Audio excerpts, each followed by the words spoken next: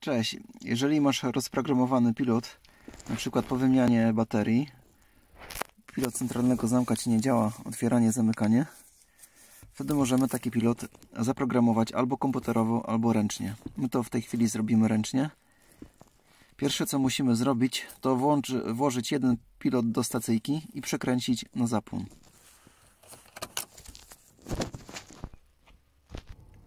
Zapłon włączony.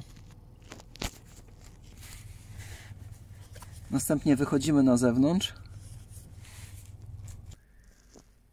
Wkładamy pilot do zamka.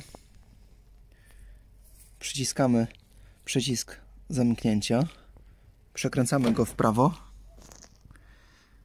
I naciskamy na przykład raz, żeby był zaprogramowany w pozycji pierwszej. Mignęła nam dioda. Wyciągamy. Pilot jest zaprogramowany.